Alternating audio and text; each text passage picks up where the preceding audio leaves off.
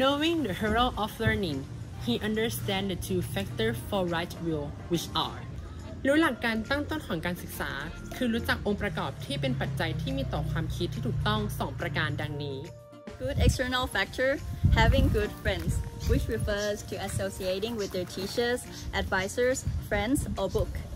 It can also include having general social conditions that are wholesome or helpful. องค์ประกอบภายนอกที่ดี ได้แก่การมีกัลยาณมิตรที่ดี หมายถึง รู้จักหาผู้แนะนำสั่งสอนที่ปรึกษาเพื่อน หรือหนังสือ ตลอดไปจนถึงการมีสภาพแวดล้อมทางสังคมที่ดีและเกื้อกูลกัน All of this will encourage or arouse the arising of wisdom through the processes of listening, discussing, seeking advice, querying, reading, and researching. This also entails being selective about the use of mass media. ทั้งหมดนี้จะชักจูงหรือกระตุ้นให้เกิดปัญญาได้ด้วยการฟัง การสนทนา ปรึกษา ซักถาม การอ่าน และการค้นคว้า ตลอดจนการรู้จักเลือกใช้สื่อมวลชนให้เป็นประโยชน์ Good internal factor, reflecting wisely, which is the proper use of thinking, knowing how to think, or being skilled in thinking. That is, seeing things with critical reflection, tracing their causes and effects, analyzing an object or problem in order to see it as it is, and in terms of its causal conditions until one sees its true nature and can solve the problem or bring about benefit องค์ประกอบภายในที่ดีได้แก่ การพิจารณาโดยแยบคาย หมายถึง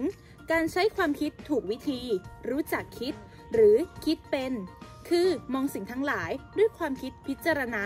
สืบสาวหาเหตุผล แยกแยะสิ่งนั้นๆ หรือปัญหานั้นๆ ออกให้เห็นตามสภาวะ และตามความสัมพันธ์แห่งเหตุปัจจัย จนเข้าถึงความจริง และแก้ปัญหาหรือทำประโยชน์ให้เกิดขึ้นได้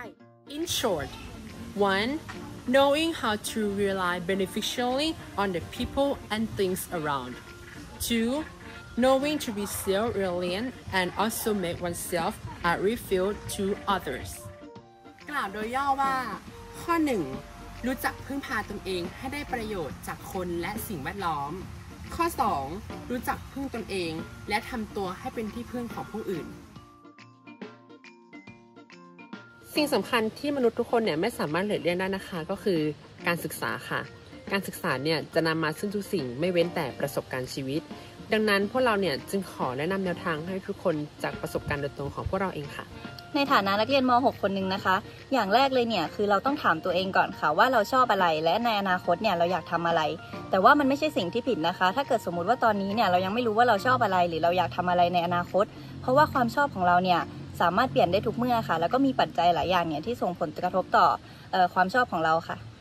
จากประสบการณ์จริงของตัวผมเองนะครับ ก็คือผมเรียนสายศิลปภาษา ซึ่งเรียนภาษาเป็นหลัก แล้วก็มารู้ตัวออีกทีที่หลังว่าผมเนี่ยอยากเรียนสายวิทย์อยากทำงานในกรมอุตุนิยมวิทยา ผมก็เลยต้องมาอ่านหนังสือเองเพื่อเข้ามหาลัยครับ สำหรับคนที่มองว่าตัวเองยังไม่เก่งนะคะ อย่ากกลัวที่จะลองสิ่งใหม่ๆ ปรับทัศนคติของตนเองต่อการเรียน หมั่นทบทวนบทเรียน รู้จักหาความรู้นอกห้องนะคะ รู้จักกระตุ้นตัวเอง เพียงแค่อย่าท้อนะคะ และความสำเร็จก็จะอยู่ข้างหน้าเราค่ะ